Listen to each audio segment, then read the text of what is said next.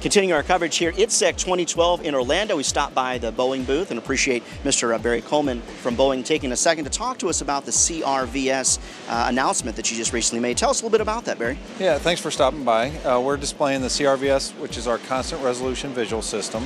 It's a patented technology, provides high fidelity, very immersive environment for the user, and it's a full 360 degree field of view system. Today we're only displaying the uh, 240 degree field of view system. It's a very high fidelity system, and at the show this week we're displaying the new technology, which is the JVC 8K E-Shift projector. Okay. Gives us a, a fidelity, a higher fidelity system. It's it's four times HD resolution.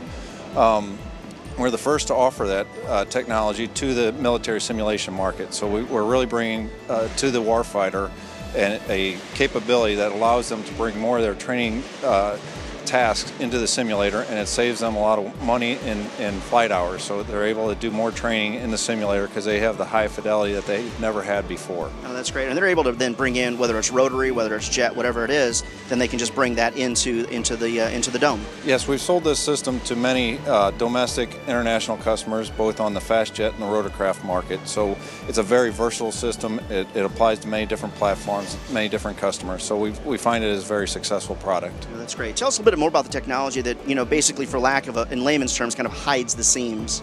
Yeah, it's a, it's a seamless technology. So uh, the curved screens, it's a patented technology, and when you're actually at the uh, eye point, the design eye point, when the pilot's in the cockpit, the seams just blend away. So you don't really see anything. It's, it's what we call a seamless technology. So you get that really good feeling of immersion. So it's almost like you're out there in the real world. Oh, that's outstanding. So it sounds like Boeing is solving some of the problems that we've seen uh, in the past. Yes, we are. And we're, we're really bringing the technology to the warfighter. Right, that's excellent. Now tell me, uh, what's the website for people to find more information? It's www.boeing.com. All right, sounds good. Barry, thanks for taking a couple minutes and more technology coverage straight ahead from the exhibit floor here at ITSEC 2012 in Orlando.